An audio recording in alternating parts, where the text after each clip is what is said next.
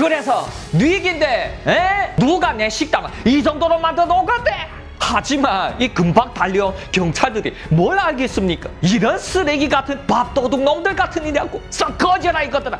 아이고 내 가게. 네 저번 회에서 알 수 있다시피 이 한발쉐라는 놈은 무서운 수전노였었는데 근데 그러한 놈이 제일 큰 산업이 중산 식당이 박살나다니. 놈이 풍덩 주저앉아서 엉엉 통곡을 치고 있는데 회, 회장님 이 곁에서 부하놈이 얘기하는 거였다는데 혹시 그 맨날 우리랑 경쟁을 했었던 耿 회장 측이 벌인 짓이 아닐까요? 저번에 철거 사업권을 또 우리한테 빼앗겼다고 그놈이 한 두고 보자고 큰 소리를 쳤다던데 그래?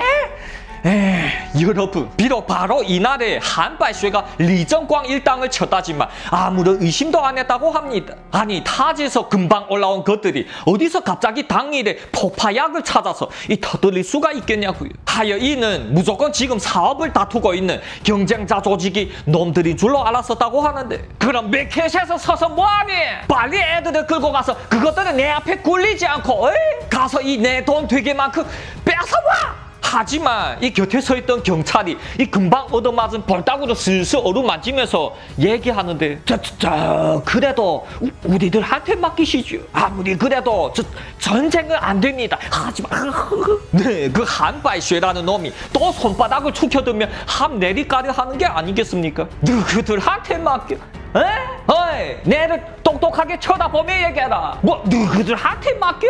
하참, 그 아가리에서 이러한 소리가 나오다니 내 당황스럽다. 내 얘기하겠는데 꺼져라 이것들아. 우리가 전쟁을 하든지 말든지 곁에서 조용하게 찌그러져 있으라고. 저 위쪽에 전개 쪽은 내 다 알아서 할 테니 말이다. 이런 경찰 놈들은 다 이렇게 쓸데없는가? 에이.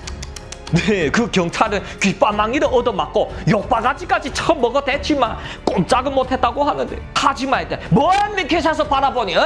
빨리 알가니? 어? 예예예 예, 예. 그렇게 한발쇼의 오른팔 놈은 애들을 모두 다 끌고 붕 하고 출발을 했었다고 하는데 이 혈압이 올라서 이 뒤통수를 부여잡은 한발쇼는 자신이 차량에 탔다고 합니다. 네, 말 그대로 지금 이 한발쇼라는 놈은 운전기사 한 명만 달랑 같이 있는데 그러면 이때 리정광 일당은 뭐 하고 있었을까요? 네, 이들은 이미 복면을 다 벗고 아주 당당하게 그 구경꾼들 중에 섞여서 모든 걸 다 지켜보았다고 합니다. 그러면 이제 말안 해도 이 대충 느낌이 오시죠? 그 한발쇼의 벤츠는 놈이 별장으로 달리고 있었고 보통 별장이라 하면 어떠한 곳에 위치했죠? 이 부쩍부쩍한 시내를 벗어나서 공기 좋고 조용한 외곽에 위치해 있잖아요. 때는 이미 새벽 3시가 되었었고 이 길에는 차량 한 대도 없는데 이어 뿡 하고 이 거저제니 차량 한 대가 가속을 하더니 쾅 하고 놈이 차량이 뒤통수를 쳐박는 게 아니겠습니까? 그래서 아가! 아가 아프다야. 아 이거 또 뭐야 이거? 뭐 술 처음 먹었나 이게?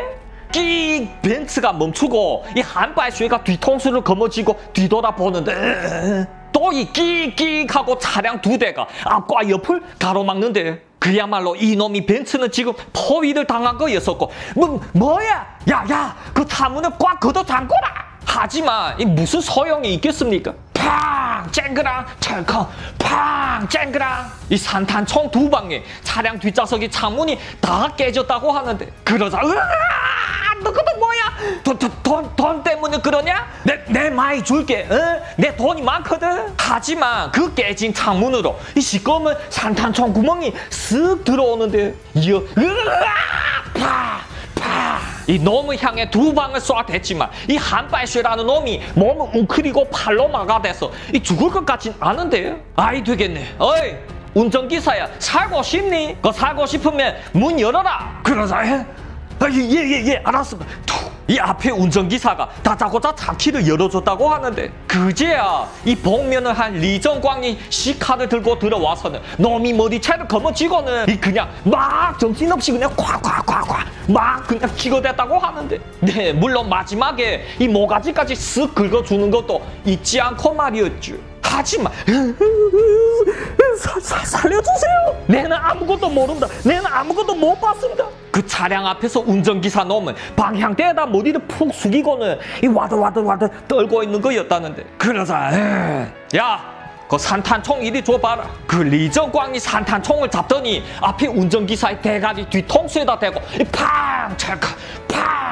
두 방을 쏴댔다고 합니다. 네, 그 주친강이 죽은 걸 생각하면 이 두 놈이 아니라 이 전체 조직원을 모두 다 몰살하고 싶은데 말입니다. 그렇게 놈들 두 명을 그 짱을 내주고 이 리정광과 가오저제 일당은 붕 하고 자리를 떴다고 하는데 그럼 이 사건은 대체 어떻게 처리되었냐고요? 그날 새벽 한발쇼의 부하 놈들은 아무것도 모르고 쿨쿨 자고 있던 그 상대방 조직으로 이 쳐들어갔었다고 합니다. 그리고는 이 억울해하는 耿 회장을 싹 다 때려 눕히고 한바탕 전쟁이 났었다고 하는데 하지만 이다 끝내고 보니 에? 자기네 큰형님은 이미 운전기사랑 죽어있네요. 그러면 이는 대체 누구 혐의가 제일 높겠습니까? 당연히 그 상대방 조직인 耿 회장이 제일 높았었고 당장 소환되어서 수사를 받았다고 하는데 하지만 여러분 이 한발쇼와 경쟁할 수 있는 권 회장이 전기백이 없겠습니까? 또한 그가 했다는 확실한 증거도 안 나오고 그냥 풀어줬다고 하는데 권 회장도 이 한발쇼를 누가 죽였는지 모르잖아요.